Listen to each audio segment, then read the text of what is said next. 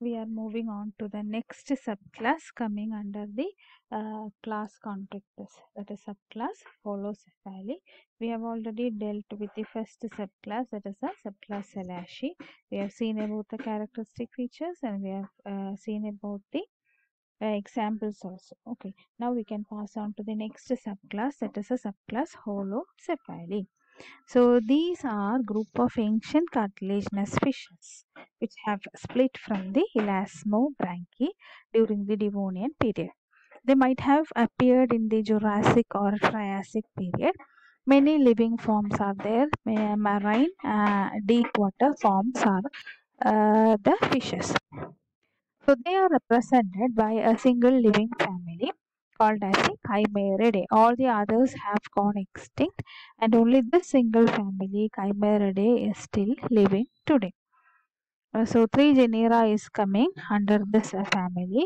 Uh, Chimaera, which is called as the king of herrings, uh, Callorhinchus, uh, it's elephant shark giant sized one. Then Harriotta, spookfish or ghost fish.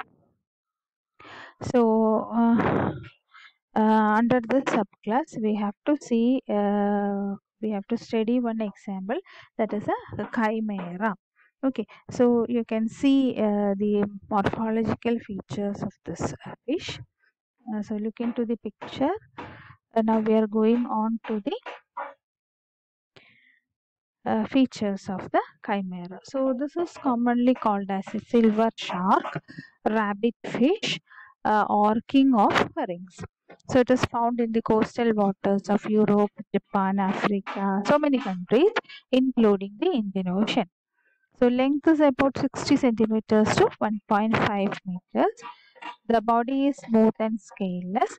Mouth is armored with fleshy lips and tooth plates. You can see here fleshy lips and tooth plates. Gills are covered by a non-skeletal operculum. Single branchial opening can be seen spiracles are absent. Presence of long dermal spine in the first dorsal fin. You can see the spine. Now, uh, caudal fin is isocercal, which is a modified form of diphycercal fin. Tail it is produced into a whip-like filament. Male it is having a pair of uh, transverse slits in front of the pelvic fins that lead to two glandular pouches carrying a pair of anterior claspers. Two copulatory claspers are seen behind the anus. One frontal or cephalic clasper on the top of the head can also be seen. Lateral line systems, it is present in the open grooves of the body.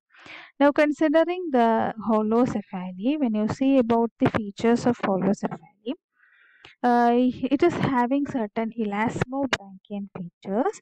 Uh, it shows differences from the elasmobranchies and it shows certain characters of the Osteichthyes too. Okay, so uh, you can see first we can see about the uh, features uh, of holocephali which is similar to that of the elasmobranchians. Uh, now, uh, placoid scales or dermal denticles, it is a common feature. The heterocercal caudal fin, then paired fins and girdles, it is similar to the elasmobranchs. The presence of claspers, oronasal grooves, cartilaginous endoskeleton, persistent unconstricted notochord, spiral valve in the intestine, hyoidian hemibranch, valvular and contractile, conus arteriosus. So these are the features uh, that is very similar to that of its uh, elasmobranch. Now, uh, it also shows certain differences from that of the elasmobranchians. So here you can see four pairs of gill slits which is covered by opercular fold of the skin. Uh, five are present in the elasmobranchs and they, uh, the operculum may not be seen in the elasmobranchians. Then three pairs of holobranchs while four pairs are seen in the elasmobranchs. Absence of spiracles, holostylic jaw suspension, teeth are fused to form the crushing, crushing plates, presence of extra claspers, absence of cloaca. So these are the features that it shows which is different from that of the elasmobranchi. Now, uh, it also shows certain characters which is exhibited by the bony fishes. That is concentration of the branchial arches towards and beneath the skull, reduced interbranchial septum, presence of gill cover, suppression of spiracles, absence of cloaca. So these are all the features uh, that uh, the holocephalians shown, which is similar to that of the which is similar to uh, that of the Osteichthyes. So it is uh, showing a wide variety of characteristic features. Okay. Now, so that is an example that we have to study under the uh, subclass holocephali. Now we are moving on to our next class that is a class Osteichthyes. So Osteichthyes, as we know that it is uh, consisting of uh, the fishes uh, that is having a bony endoskeleton.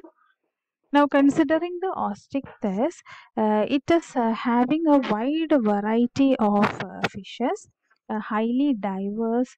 You can see many brightly colored fishes. When compared to the Chondrichthyes, Osteichthyes is more, much more diverse and more number of uh, indi- species are uh, there uh, which represents the um, bony fishes. Now, so you can see a fish uh, that is camouflaging under the sea floor. So brightly colored fishes, so many different shapes.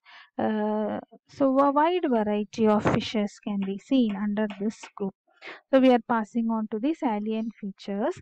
The uh, first and key most uh, salient feature or foremost salient feature is that uh, the embryonic endoskeleton, though it is cartilaginous, in adult this cartilaginous endoskeleton is replaced by the bones. Okay, so here the endoskeleton it is composed of bones.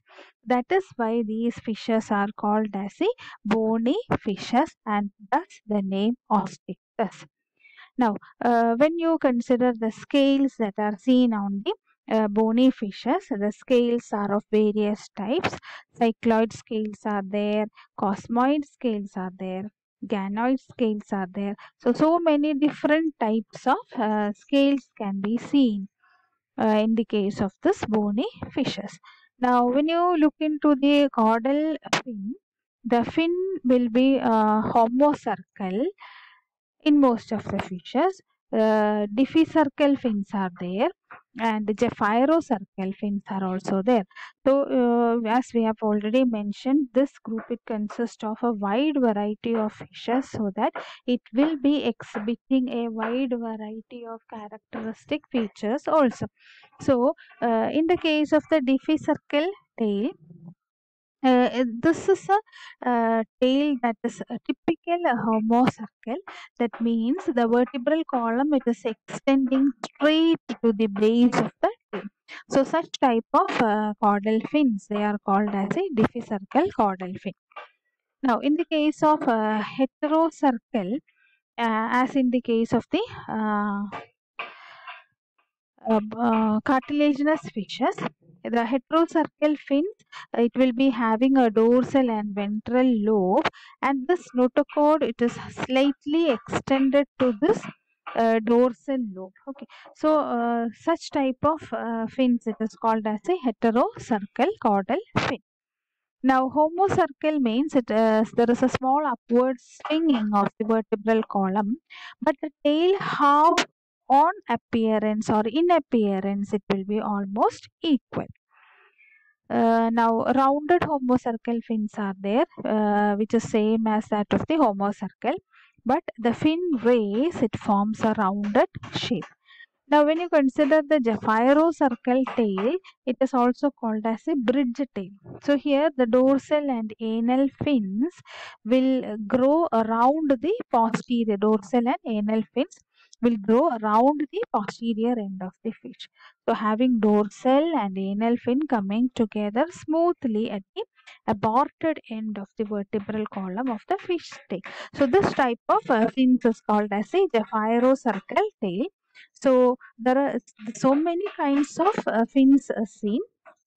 In fishes but in the case of this uh, bony fishes you can see among these you can see the homocercal diphycercal as well as the gephyrocercal caudal fins are seen in the case of the uh, fishes bony fishes. Okay. So this is a uh, diphycercal fin that is exhibited by the um, lungfishes crossopterygi Okay, now we are continuing with the salient features. Mouth it is terminal or subterminal. As we have already mentioned, the terminal mouth is one of the key identification feature of the bony fishes. Now nostrils it is the dorsal in position. Gills and gill opening it will be covered by operculum whereas in uh, cartilaginous fishes uh, the gills um, and gill openings are exposed and it will be never covered by the operculum. But here operculum is seen protecting the gills and gill chamber. Filiform gills are there and reduced interbranchial septum. Air bladder it is usually present or sometimes it may be uh, absent. Jaw suspension it is autostylic. That means through the quadrate. So you might have studied about the different types of uh, jaw suspension or uh, if it is not dealt with uh, the teachers will deal with it. Especially when you study about the reptiles you can study about the different types of jaw suspension. How the jaws are suspended into the uh, cranium. Okay. So in the case of this fishes the jaw suspension is autostylic now next we are moving on to the classification.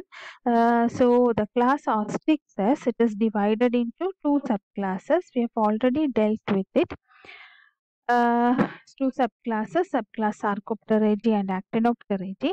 And subclass Sarcopterygi it is divided into two orders Crossopterygi and Dipnoi and the Actinopterygi it is divided into three super orders Chondrosteis, Holosteis and Teleosteis which consist of so many orders that we have already dealt with. Now, now we are moving on to the uh, examples that we have to study. Uh, so under the first subclass Sarcopterygi, two orders are there, order Crossopterygi and order Dipnoi. Uh, now we are going to see about the salient features of the order Crossopterygi plus uh, the one example that we have to study under the Crossopterygi that is a uh, coelacanth fishes so that we can see in the next class.